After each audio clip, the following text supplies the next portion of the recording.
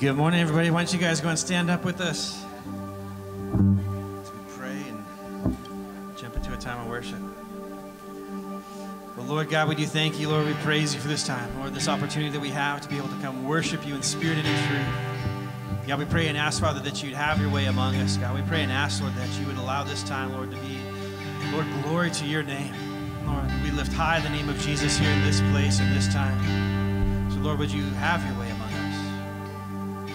God, would you be praised? Would you be high and lifted up? God, we pray and ask, Lord, with all the stuff going on in our hearts and our minds, all the things happening in our world around us, Lord God, all the things that are keeping us distracted from you, Lord, this morning, Lord, we surrender them all to you. Lord, we come and lay them at your feet, Lord God. Lord, to you be all the glory here this morning. We love you, Lord. We thank you. We praise you. All glory to you, Lord.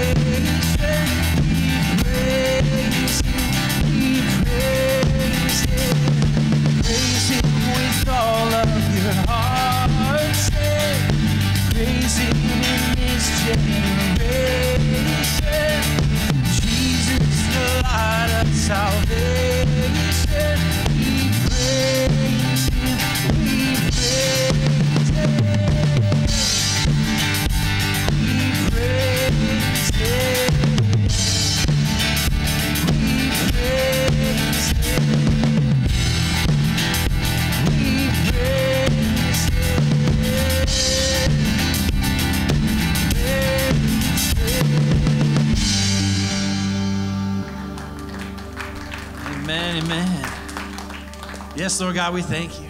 We worship you. We praise you here this morning. Lord, with all the stuff happening in our own hearts and our minds, Lord God, Lord, how good and how great it is. Lord, when we come together, brothers and sisters in Christ here this morning, to worship you because you are worthy. Lord, not because we have done something or have something to add to you, but Lord, we cast all our cares before you here this morning. Lord, that you might be the center, the focus of all things in our hearts and in our minds here this morning. Lord, to you be all the glory here this morning. In Jesus' name.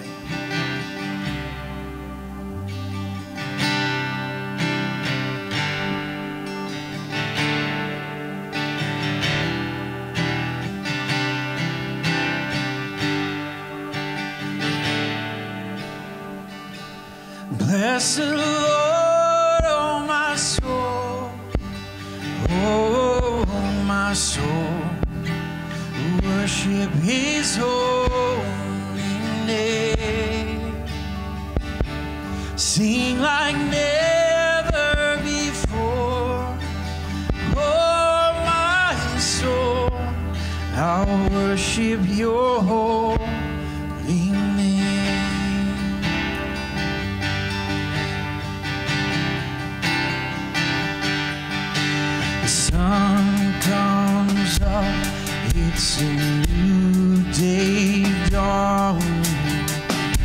It's time to sing your song again.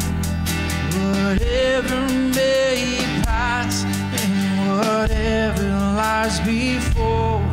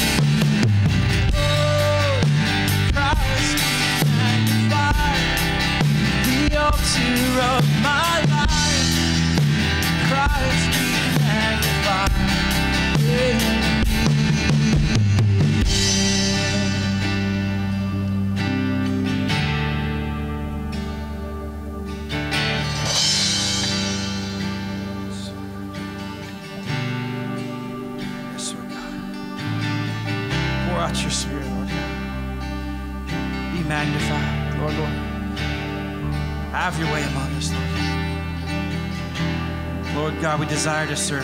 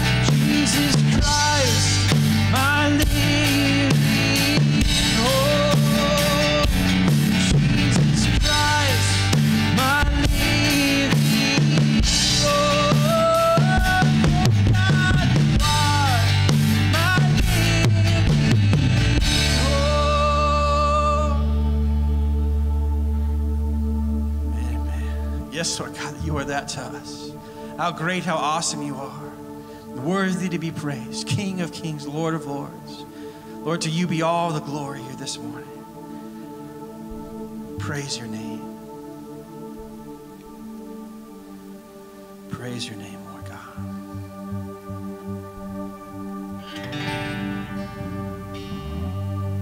Lord God, we pray and ask that you would draw us near here this morning. God, we pray and ask, Father, that we would be found in a place where we're able to receive all it is that you have for us. Lord, that our hearts and our minds, Lord, wouldn't be distracted or tainted by this world, Lord, but we'd be able to stand before you perfect, spotless, righteous, holy sons and daughters of the Most High. Not because of what we've done or accomplished, but because of that precious blood of Jesus. Because that sacrifice you gave, giving your only begotten Son for us, that we might have access to the Father. What love, what grace, what unmerited favor. Thank you, Lord God. You are good. Draw us near, Lord God. Pour out your Spirit.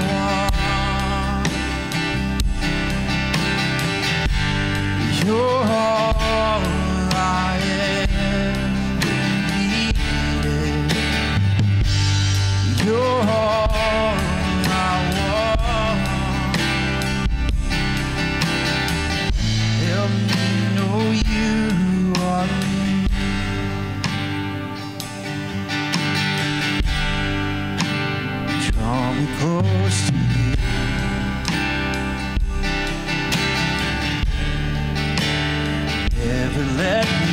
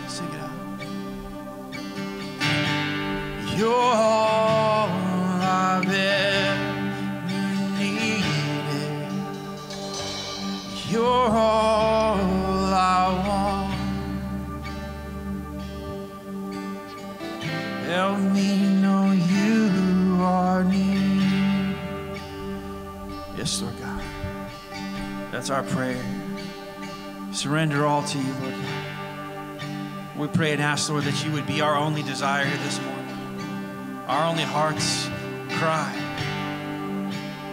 Praise you, Lord. And sing that out. We. You're all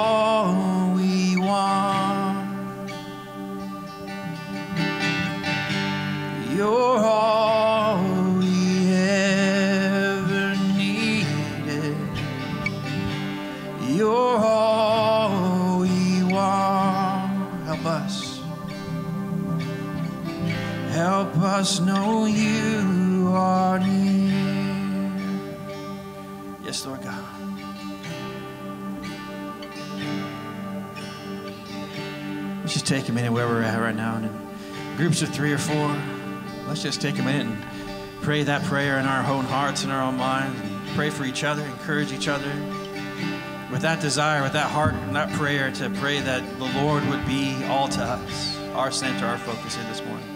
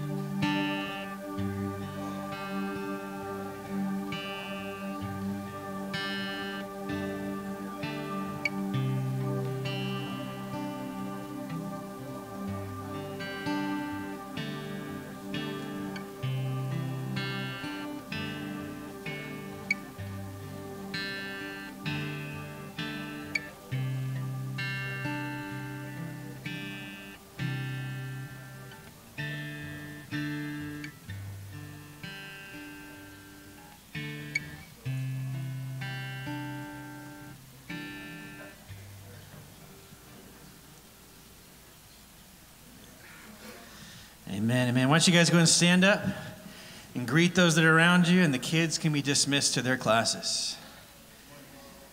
Why don't you say hi to at least five people you have not said hi to yet this morning?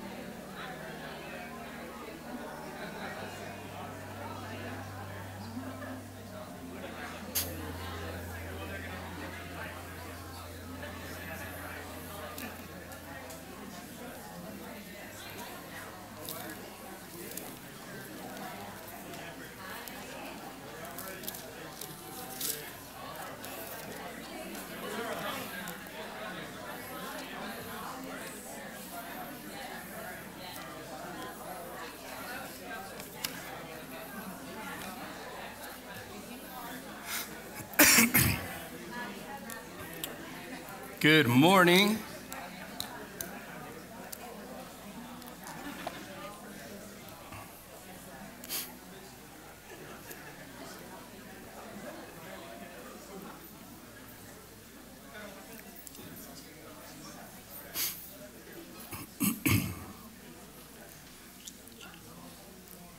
Good morning, everybody.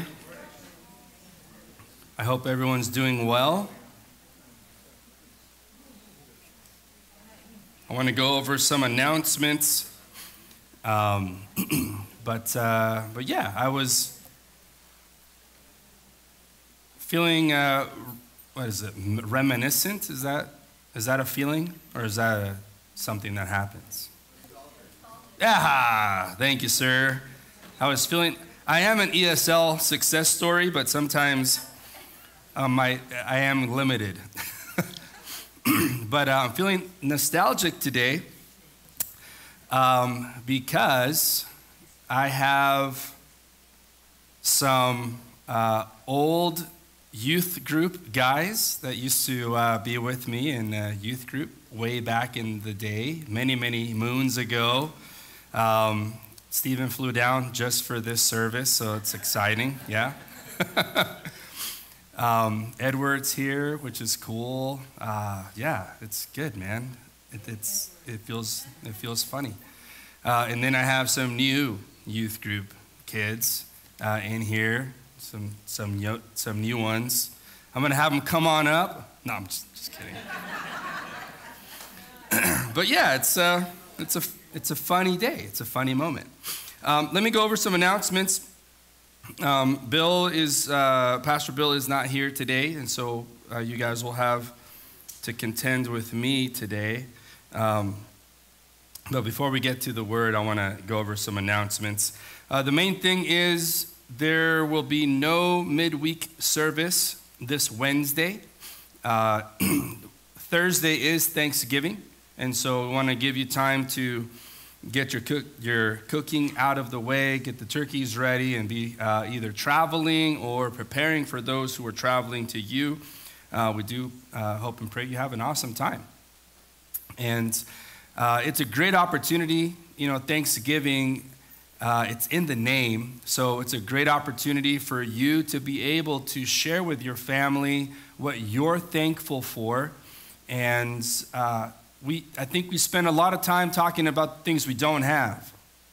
Um, as a society, um, as people in general, you know, we can, we can spend a lot of time complaining about things we don't have. Um, I would say if you're a whiner by nature and a complainer, put that on pause for Thanksgiving, for Thursday, and allow your family who is used to hearing you complain Allow them the blessing of hearing you be grateful. That would be a, that would be a twist in the story, you know? Um, they would be looking at each other thinking like, man, Sammy's always complaining about everything, government and cars and shoes. But he, today he said he's thankful for the work that God has done in his life, for God's faithfulness, for God's provision, and so that, that they would hear you proclaim the goodness of God. That is a great opportunity that we have for Thanksgiving. So um, be sure to do that. Be sure to be uh, prayed up and ready to do so. Um, the women are having a Christmas dessert. The flyer looks like this. They're doing ticket sales um, out there today, so make sure that you um, pick up a ticket for yourself ladies, and for a friend. Uh, make sure that you invite uh, friends to it. It's always a, a really cool time. Um, I know my wife is always blessed. My daughter's been there for several, and um, it's just a good opportunity to get together.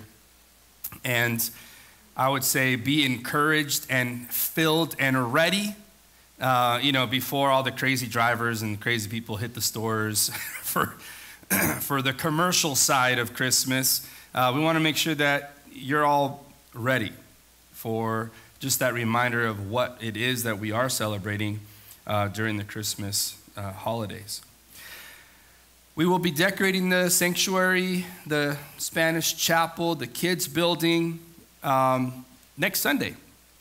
So if uh, you want to be here and you want to be um, helpful and contribute to that, you have a ladder, bring it. You have a staple gun, uh, bring that.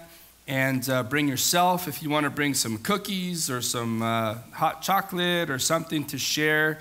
Um, maybe you can't get up on a ladder and do a lot of things, but you can make some cookies. Bring the cookies. Uh, everybody who's going up and down the ladders will be blessed by it and be happy to have you here as well. We'll have some music going and be able to uh, work alongside each other and uh, decorate the place.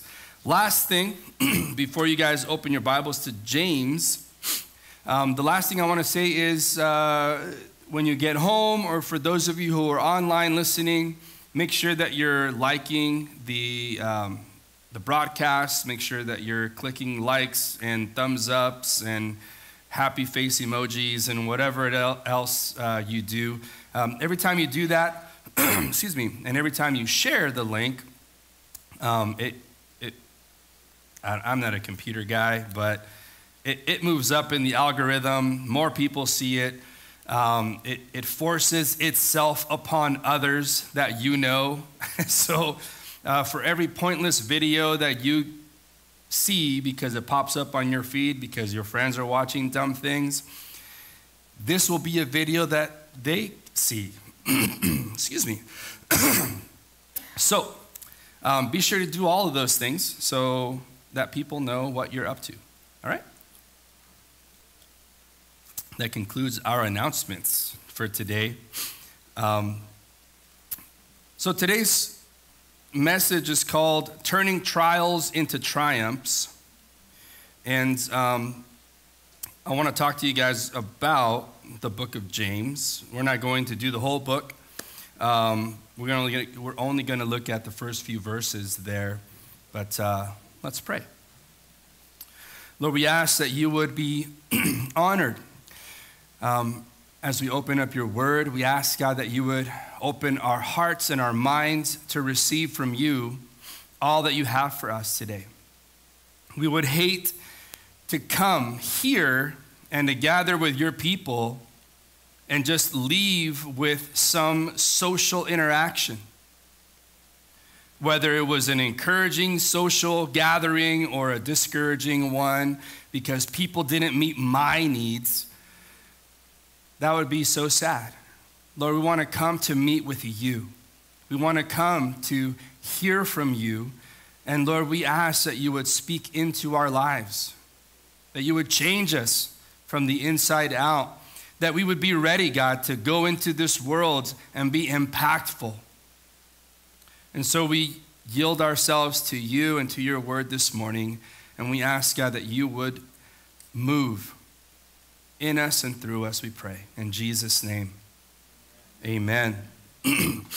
Before we get into James, I wanted to just lay some groundwork for what we're going to be discussing today. The book of James uh, was written to address a lack of maturity in the believers that were there and so um, it's a very practical, it's one of my favorite books because it's very practical. It's like, hey, here's a problem, fix it. Here's another problem, fix it. Um, I like that approach. And uh, the, the whole book of James is, is pretty much written in that way. And uh, the main focal, the focal point of the book is dealing with maturity, allowing maturity to grow, allowing and challenging immature or underdeveloped Christians from growing and developing and being strengthened and being mature. And so it may be, uh, I don't know, maybe an uncomfortable topic for you today because you like to be immature. Um, maybe it's going to be an encouraging topic for you today. I hope that it can be both. Uh, I do not mind making you uncomfortable if you are lazy and immature. Um, I think it's a good thing I think it's a good thing to be uncomfortable when we are that way, to break out of those um, bad habits. As I was preparing for this message uh, about a month ago, uh, I was reminded of a time that I went to visit a friend. Uh, I went and I, I knocked on their door. I don't even remember why I was going there now. It's been so long ago. Um, but as my buddy opened the door, we were talking about whatever we had to address. And in the background, I see this little naked baby just run across the background. And was like, okay, we're talking here, and I see this little, little streaker. And I thought, that's weird. Uh, and I thought, well, maybe, you know, the little kid's running to go get some clothes on. Nope. Because there he goes again. Just ran right across the background again. And I, finally, I was like, hey, listen, there's a naked kid running around your house. And uh, my buddy very nonchalantly just said, like, well, you know, we're potty training and, you know, he's having a hard time. Uh, so we decided to go with this strategy. And all I could think of was like, well, it works for my dogs, you know? when the dog stops, you're like, hey, get outside. and so that's what they were doing. They were potty training their um, toddler. And uh, it was a strategy of, you know, as soon as he stops we know something's going on. You know, so they would grab them and take them to the bathroom. Um, I didn't have to do that with my kids, uh, but raise your hand if that was done in your family. Naked baby? All right, because here's the thing. He tells me, he's like, oh yeah, you know, this is like, this is one of the methods. I was thinking, I don't know, man, I've never heard of that. And you guys just proved it today. Um, this was years ago it was cute, it was funny, it was humorous, you know, and it's socially acceptable for babies to have accidents, for babies to poop in their diapers, for them to explode out of their diapers. You know, it, all of those things are okay because what? Well, they're age appropriate, right? It's age appropriate for babies to have these problems. Now, I want to share another story with you. I was hanging out with a buddy, and he sees this guy at, uh, at the store. We are hanging out together, and he sees this guy, and he, he just nudges me really hard. He's like, dude, that guy. And I said, what about that guy? He says, so when we were in high school, we were skateboarding. And uh, we left school and we were skateboarding to go to a park to skateboard some more. And this guy had to go to the bathroom. And we're like, yeah, yeah, yeah, we'll get to the park, you can go there. And we're skating and skating and skating. And next thing you know, he's skating ahead of me. And I see that he has poop running down his legs because he was wearing shorts. so this was like sophomore year, they called them poopy shoes. The rest of high school, and even after we saw him, like we were already like college age and we saw this guy, he's like, dude, that's poopy shoes. And he tells me the story. Not cute for a high schooler to have that problem. It's funny and hilarious, and it's, you know, joke worthy, and it's something that they mocked this kid forever because of this. Why? Not age appropriate, right? He, he, he should have been able to keep it together uh, and, and get to the bathroom, right? This was an unfortunate thing. Here's the thing about this there are uh, poopy characteristics in all of us that sh- we should have matured past. Yes?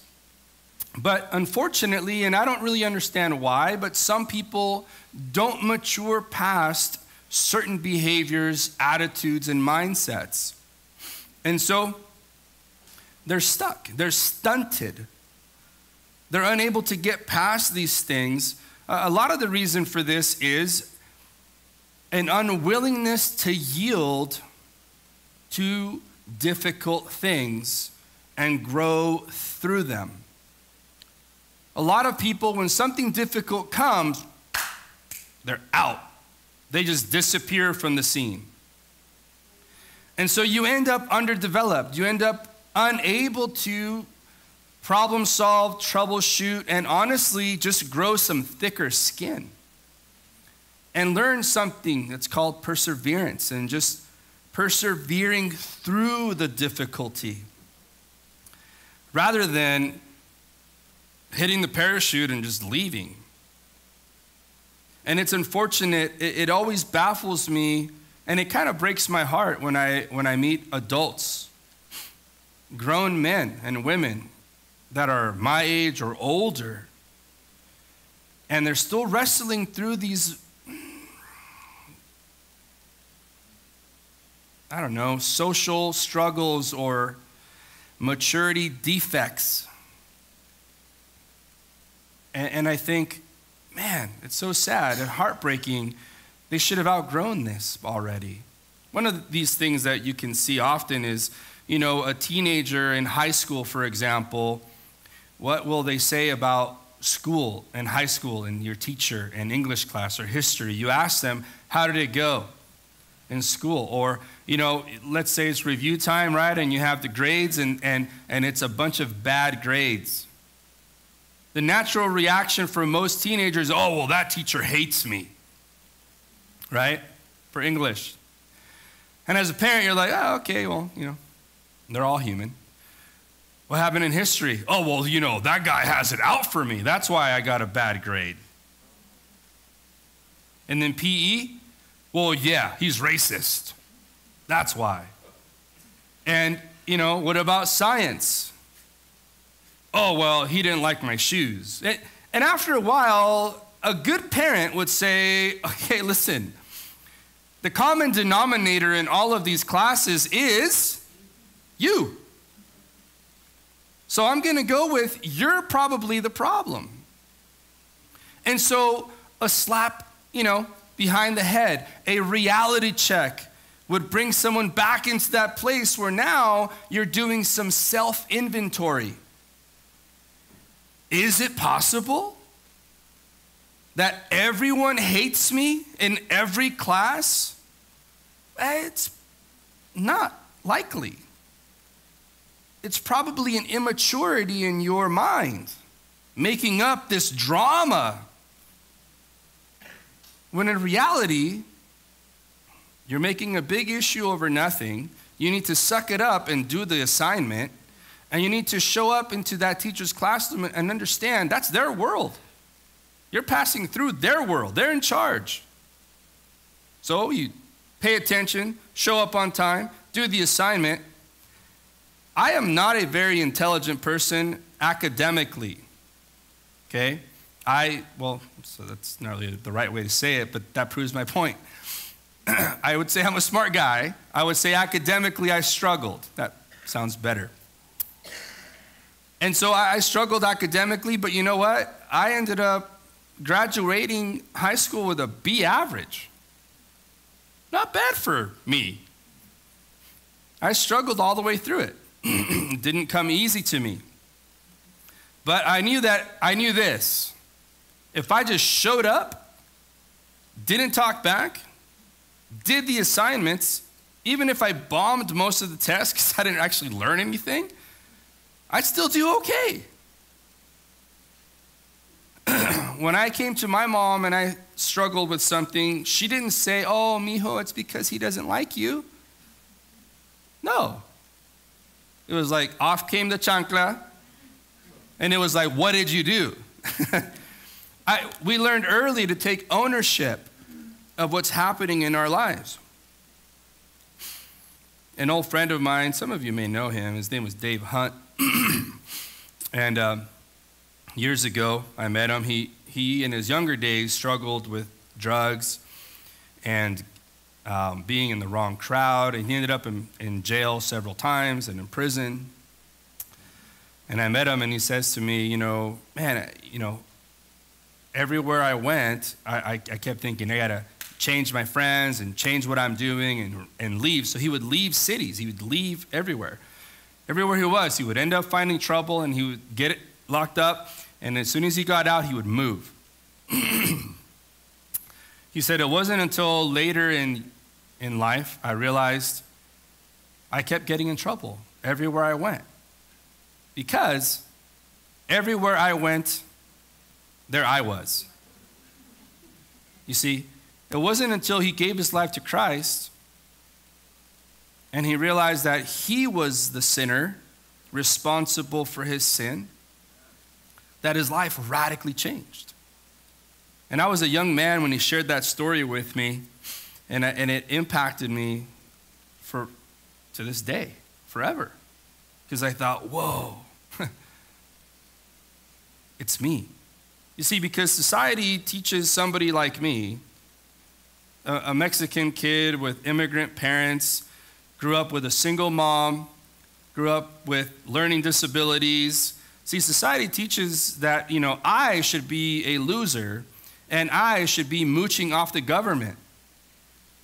I should be a government dependent for my whole life because, oh, well, you know, he's a dumb little Mexican kid. Obviously, he needs daddy welfare or daddy government to take care of him forever. Or, oh, well, he's angry because of this. Or, oh, well, he, he gets triggered because, no, it's all nonsense. We need to mature. Yeah? We need to get past blaming other people for how we feel or for our defects or for the lack of maturity that's in us. And, and, and and I pray, as it was James's heart for the believers, we need to mature. How do we mature?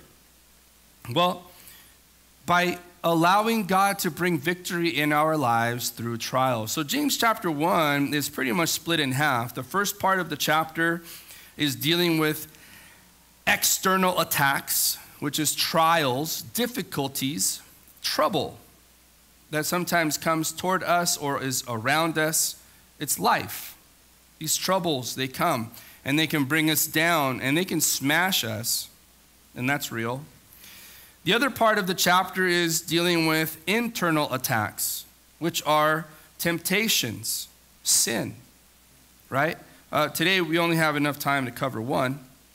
So, we're going to be looking at how to deal and how to navigate through trials. Again, turning trials into triumphs in our life, not becoming victims because of our trials, not rolling over and just, woe is me because of our trials, but understanding that this is hard, this is painful, this can be debilitating, but God is real. And He is stronger, and He is able, and He can lift me up, and He can actually strengthen me through this. This can actually make me better and stronger. So that God willing, someday when I'm a parent, I can instill that strength in my kids. I'm a grandparent, and they can see grandma and grandpa how they're rock solid in Christ. They're immovable. But I understand and you understand that doesn't that kind of strength and depth doesn't come overnight. It comes with time and it comes through the grind, through the process, through the pain. Joseph is probably um, the greatest example of this in the Bible. Joseph was loved by his dad, hated by his brothers. His brothers hated him so much they tried to kill him. One of the brothers said, Nah, let's not kill him. Let's make money off of him and sell him as a slave. So he served as a slave faithfully. He was falsely acu- accused, thrown in prison. While in prison, he was a faithful prisoner, if you can say that. he was elevated in prison. Then he was recommended to serve the king, and while serving the king, he was elevated again and basically became the second in charge next to the king. He ended up governing and ruling everything. When it was time for him to have payback and vengeance on his brothers, when the drama had built up so much so that it was like a telenovela, it was ready.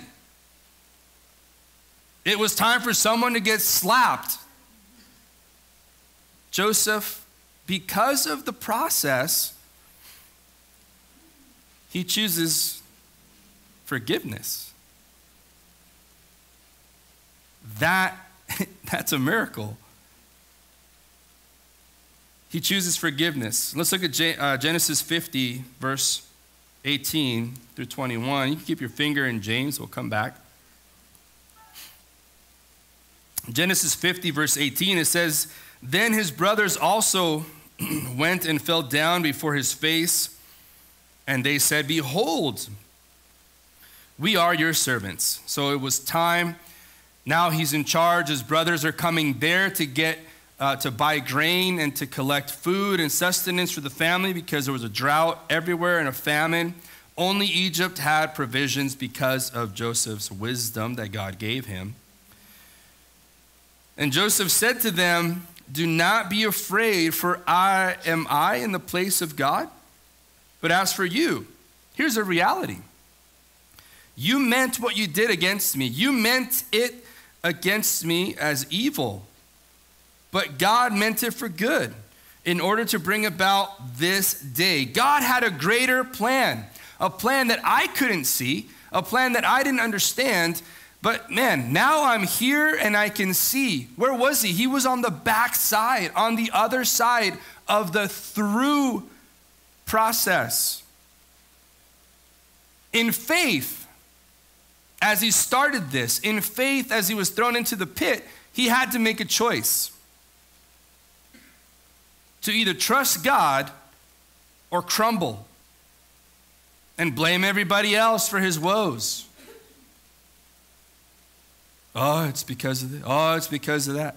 Oh, it's because my mom. Oh, it's because my dad. Oh, it's because my neighbor. Oh, it's because the teacher. Oh, it's because the president.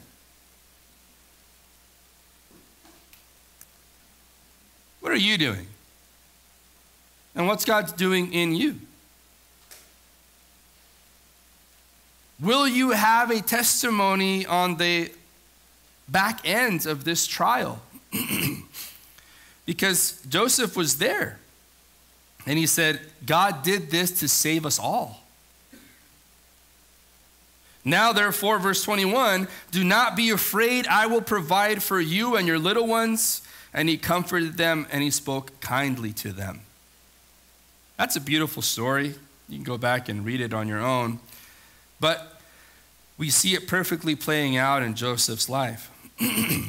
There's another person, not a Bible character.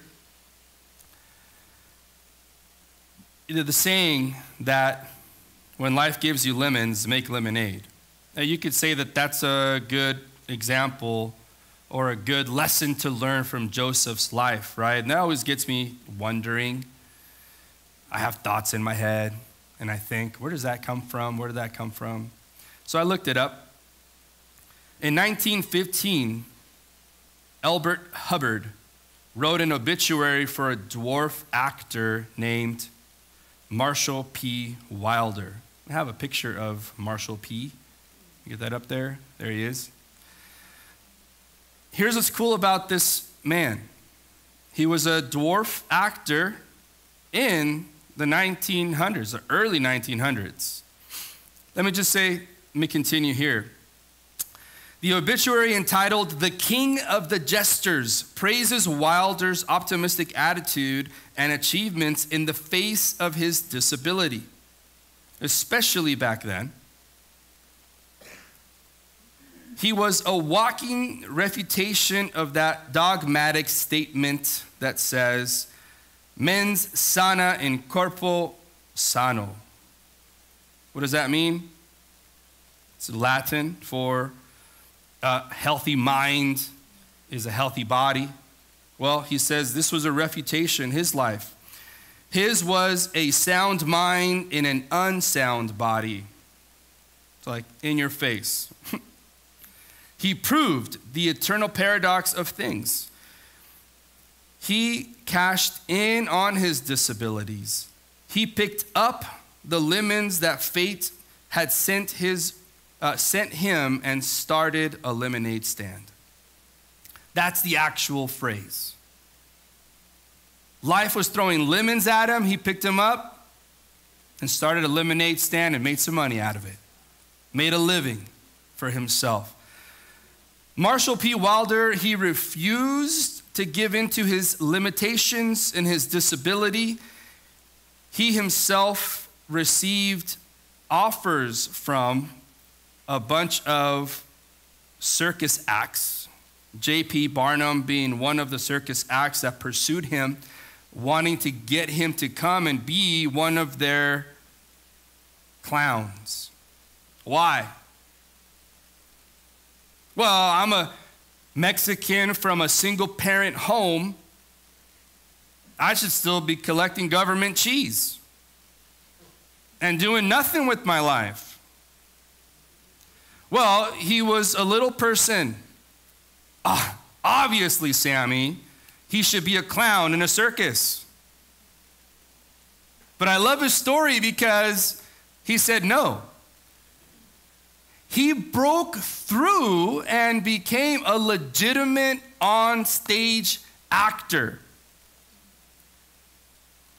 He broke through and actually made some films. He broke through the expectations, the limitations, and the disability that he had, and he said, No. I'm not going to roll over and die and suffer.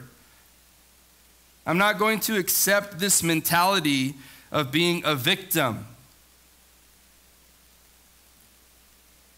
I'm going to do something. I'm going to be on the big screen. I'm going to be on the big stage. I'm going to be a regular person and I'm going to do my best at it. I think his story is really cool. I don't know who he was in, in faith. I do not know if that man was a believer. But I'm challenged by his attitude, his perspective, and his outlook and, and, and I think, how much more me as a believer, how much more you as a believer, who we know that God is at work in our lives, how much more can we face whatever life throws our way and say, yeah, we're going to get through it? Isn't it sad? That maybe an unbeliever has a better perspective than you? And you know better. You know God is at work. The trials that we face have the capacity to either make us bitter or better. Bill Osborne, uh, he's a missionary in Hungary now, pivotal in my life as a young man growing up without a father, growing up without spiritual examples and role models. Um, some of you know Bill. He's an awesome guy. And he, he shared this with me. I was probably about 16. Because, see, when I came to Christ at 15, it was just everything was new. And learning things like where I go, there I am.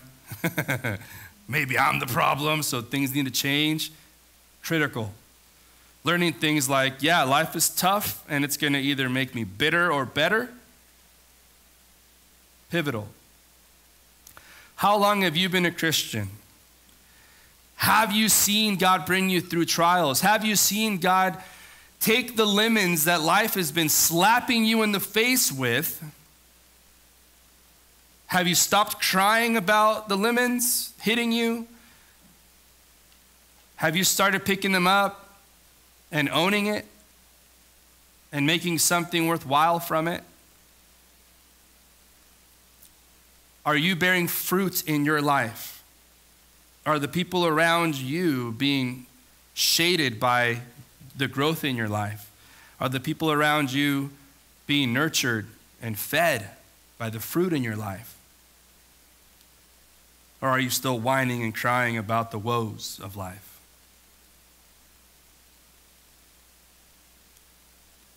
James chapter 1. Verse 2, it says, My brethren, count it all joy when you fall into various trials. This sounds like nonsense. But I love how James writes this. He says, Count it all joy when you fall into, but go to the bank with it, write it down, log it. This can produce joy. So count it all joy when you fall into various trials, knowing that the testing of your faith produces patience. But let patience have its perfect work that you may be perfect and complete, lacking in nothing. If any or if any of you lacks wisdom, let him ask of God, who gives to all liberally and without reproach, and it will be given him. But let him ask in faith with no doubting. For he who doubts is like a wave of the sea driven and tossed by the winds. For let not that man suppose that he'll receive anything from the Lord. He's a double minded man, unstable in all his ways. Let the low, the lowly brother glory in his exaltation. it's, uh, your life is messed up, but hey, it can only get better. That's a great biblical concept. But the rich in his humiliation. If you're a rich, prosperous believer, and you lose it all, glory in the fact that God's humbling you for a season. Well, that's not the American dream. Yeah. Life, though, you know, it happens to us. Can you glory in it? Can you glorify God? In the riches. When God lifts you up, can you glorify God in the riches? And when those riches are gone, can you glorify God in that? We don't want to be like the old school Charger fans in San Diego, man. Chargers go to Super Bowl! Everybody's on the bandwagon. They lose one game, and everybody's burning the bandwagon. It's just like from one day to the next. Ah, man. Let's not do that. hey, don't, don't suppose that you'll receive anything. Let the lowly brother glory in his exaltation, but the rich in his humiliation, because as a flower of the field, he will pass away. Man, we are just here for a moment. So here are some four words that we're going to look at that are powerful here in this passage. First one is count. Count it all joy when you fall into various trials having a joyful attitude. It's been said that outlook determines outcome and attitude determines action. I would say that's true. We can crumble or we can rise. And it's, it's really how we're looking at the situation. You're looking at the trial with already an outcome in mind. God's going to bring the victory. There are a lot of things I don't understand about my life. There are a lot of things that I don't see, I don't have answers for. I don't know what God is doing in a week from now or in a month from now. I don't know how God is going to exactly solve the problems that I'm facing today. There's a problem in my life today. I was sharing with the kids in the youth group four months ago there's this problem in my life. It's a real big issue. It's adult problems. I don't know how God's going to solve it, but I told them all with confidence listen, there will come a time. I don't know if it's four months, three months, two months, or two years from now, but we're going to all be able to go back and see how God came through, how God did it.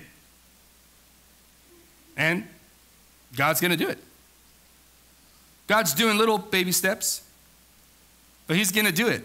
It'll be a settled issue, it'll be a non factor in my life.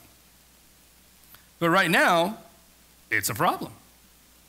But guess what? God's at work. I can count it as joy. I can bank on it because of who God is. Trials are inevitable. In John chapter 15, 33, Jesus said, These things I have spoken to you, that in me you may have peace. In the world you will have tribulation. But be of good cheer. I have overcome the world.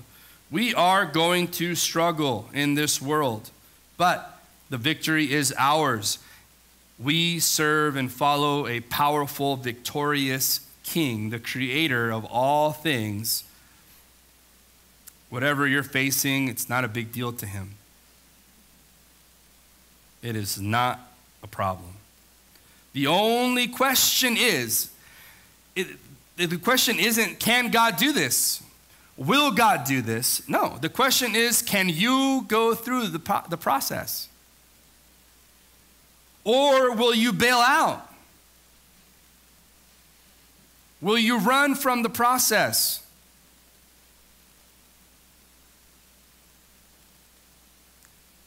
You can go through it, and, and God will bring victory in your life, or you can run away from it.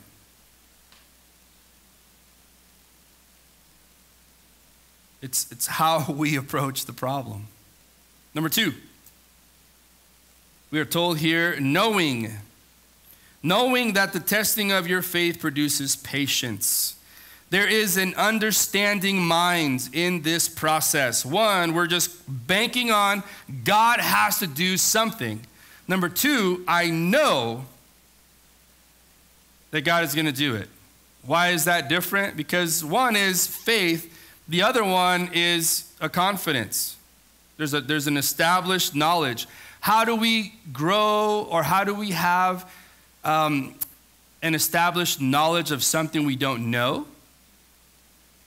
My youth pastor taught me years and years ago when I was a youth. He said, God's past faithfulness demands my present trust in Him. That's how we know, you see. Where does that past faithfulness come from? I'm going to blow your mind right now. It comes from past trials that God saw you through. You see, if I learned God's past faithfulness in trials in my life, my present, I can bank on the fact that God did it in the past, He's going to do it again. If I had a trial in the past, and I grabbed onto man's help, if I grabbed onto man's philosophy, oh, well, you see, Sammy, your problem is deep down rooted in the fact that, you know, you didn't have enough teddy bears in your room when you were growing up. Oh, that's why. Uh, no, man. Here's reality life is hard. Sometimes that hard life just comes and kicks your door down and it's your turn. It's got nothing to do with how many teddy bears you had at home or how many Care Bears your mom bought you. We couldn't afford Care Bears. My mom didn't buy me Care Bears. I liked Care Bears. I didn't get them. Psychologists would say, oh, that explains a lot, Sammy. a believer would say, that's sad, but Move on. it's not a big of a deal. It's not a life changing event. Because as painful as that was, not having Care Bears, God saw you through it. God's going to see you through the next thing. And when you face something big, scary, ugly that threatens you or your family or your grandkids, it's something that's threatening big time, you can go back to the little things and say, I survived not having my own Care Bear. I, I also survived not having a TV in my room. And I survived, and, and you know, all of these woes and sorrows that we go through and survive, God's past faithfulness demands my present trust. It just, it becomes a fact. I don't know how, but it is a fact. God's going to do it. That's what we learn as we go through it. In Romans 8:28, and we know, we know that all things work together for good to those who love God and are called according to his purpose. It's a fact. We know this. Moving on. Third, let. Verse 4 starts with a but. Count it, know it. God's going to do it. But let patience have its perfect work.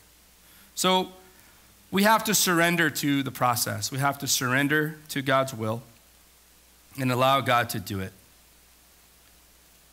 And as we're allowing the process to happen, we have to yield a lot.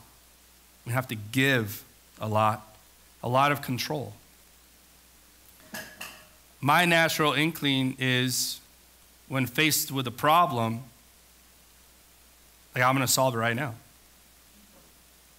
Like there's a wall, let's blow it up. You know? Well, we don't have to, let's climb it. Well, we can't, well, let's go under it. I mean, it, you give me enough time, I will do it. The hardest thing for me is to let, to just let patience have its work. And so instead of showing up two minutes later with dynamite, shovels, and a ladder, just saying, What's God doing in my life right now? What is God wanting to show me? Or what is God wanting to show the people around me? What does God want to show? See, I'm at the stage in life now that when I'm faced with a problem, when my wife and I are faced with a problem, the lesson now might not necessarily be for us, it's probably for my kids. Now that they're adults and they're not, you know, clueless children and dumb teenagers. Now they're adults. Now they get to see what, what are you guys doing about your problem? Oh, God's going to work it out. They're like, what? You know, because they've seen dad, you know, blow up walls, dig under them, and climb them. As far as they're concerned, right? I'm still Superman? No, not anymore. as far as they're concerned, man, I'm going to fix it, solve it, go around it, whatever.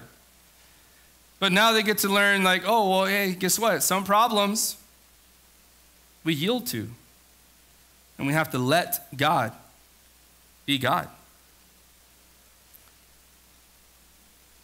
1 Timothy 6, it says, Now godliness with contentment is great gain. For we brought nothing into this world, and it is certain we can carry nothing out.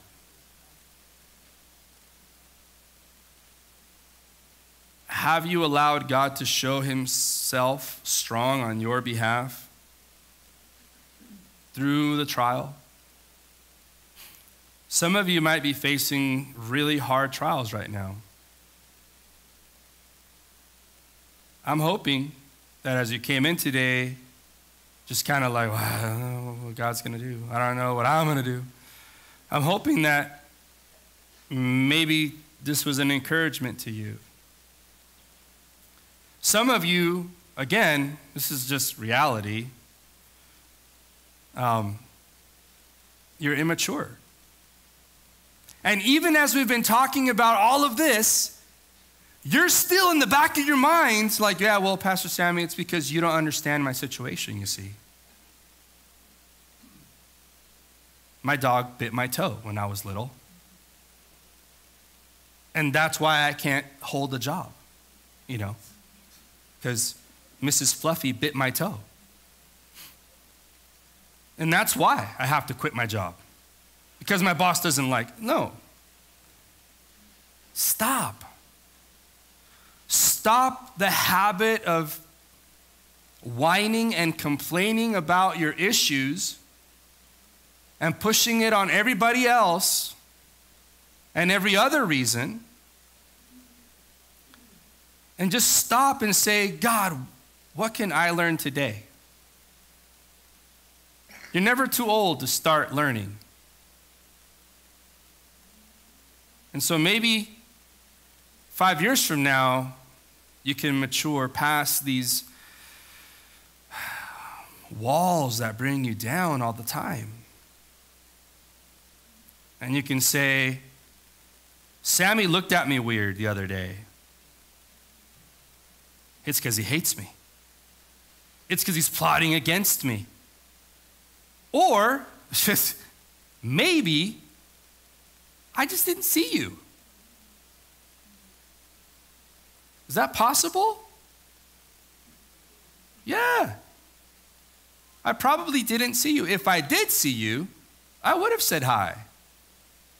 Even if I didn't have time to stop and hug it out and talk about everything, I would have at least been like, hey.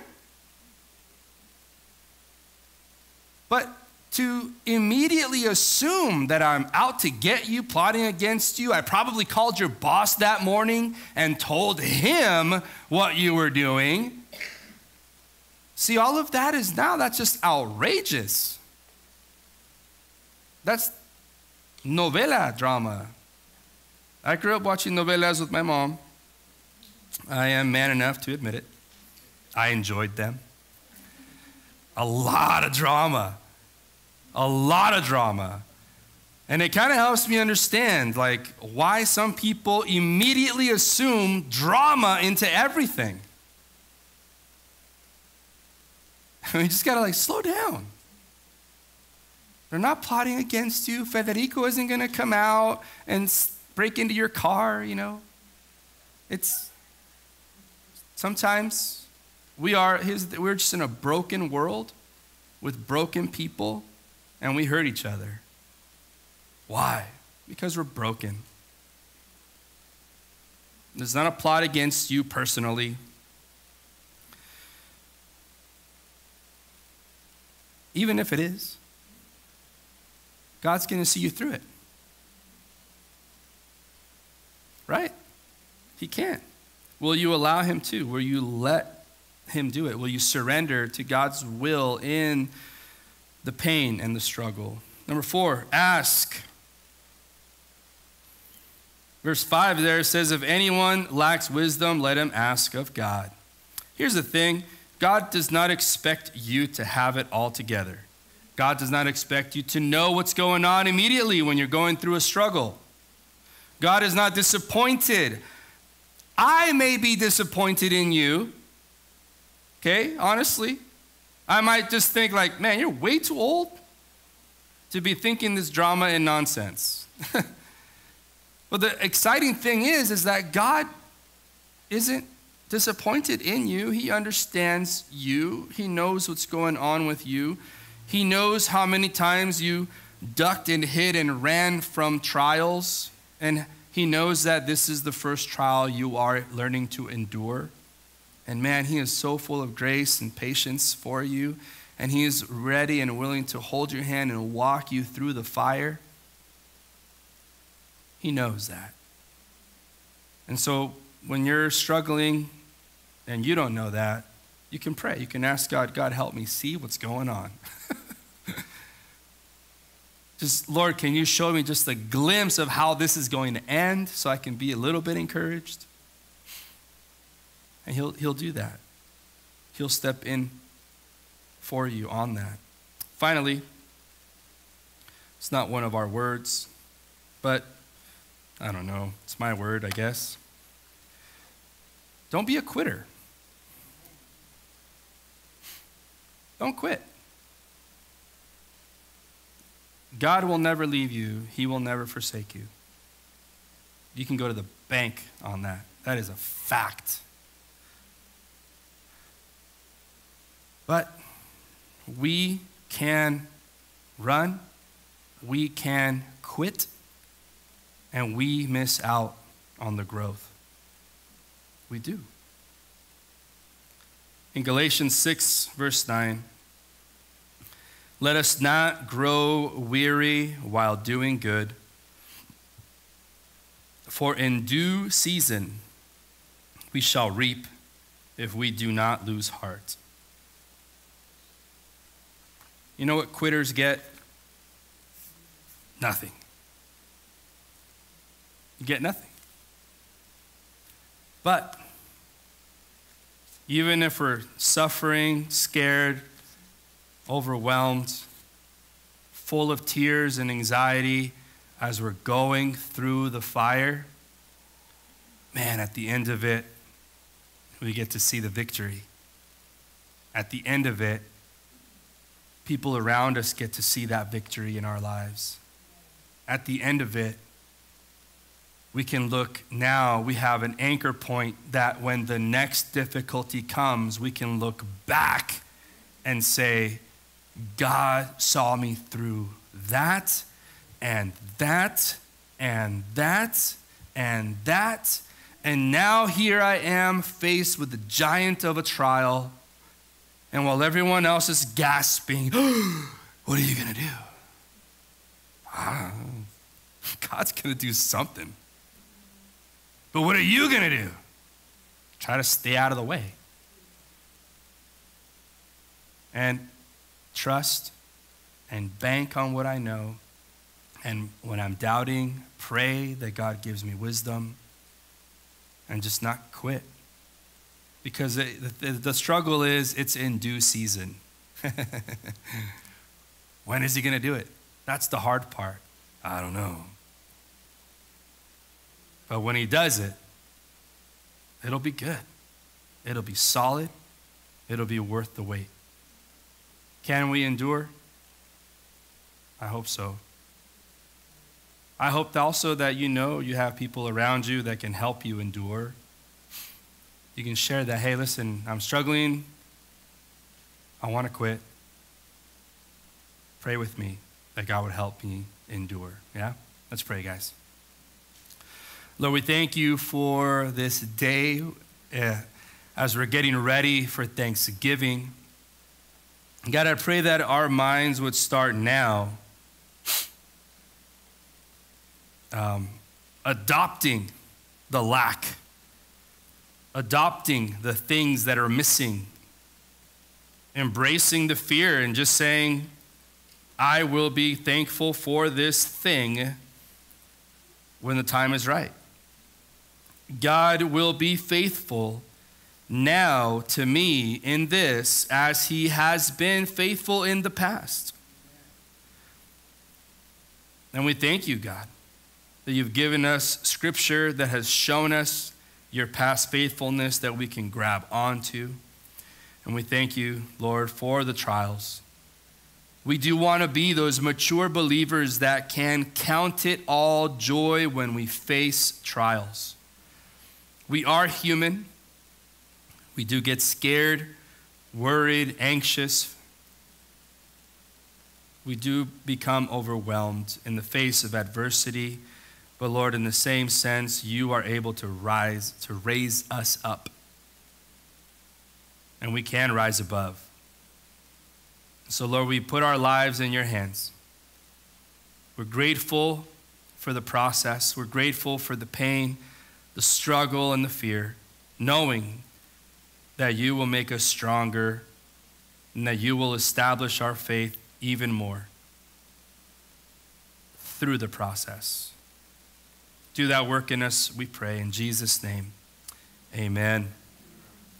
Amen. God bless you guys. Thanks for hanging in there. Uh, we have a team outside that wants to bless you with some amazing food.